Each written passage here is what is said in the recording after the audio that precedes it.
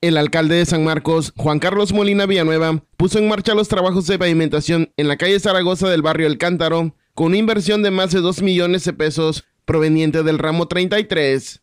Es una de las obras realmente importantes aquí en la cabecera, sobre todo porque es la vía que eh, utiliza precisamente el transporte, eh, sobre todo colectivo, la urban que le llamamos nosotros, que van rumbo a Acapulco, eh, diariamente pues circulan por esta calle, es un circuito importante y que estaba en muy malas condiciones.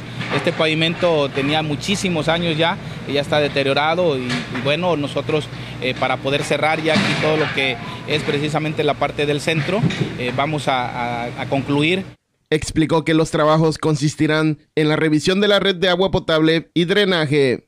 Así es, efectivamente se va a, revisar el drenaje, eh, donde tenga que cambiarse, donde se tenga que hacer obviamente los trabajos correspondientes con las tomas, sobre todo, revisar todas las tomas, tanto de drenaje como agua, para efecto de que eh, posteriormente ya no sean de la calle, obviamente, este, rompiendo. Por tanto, vecinos de la calle Zaragoza del barrio El Cántaro agradecieron la disposición de las autoridades de San Marcos por mejorar las condiciones de la vía. Víctor Manzanares, Rumualdo, Radio y Televisión de Guerrero.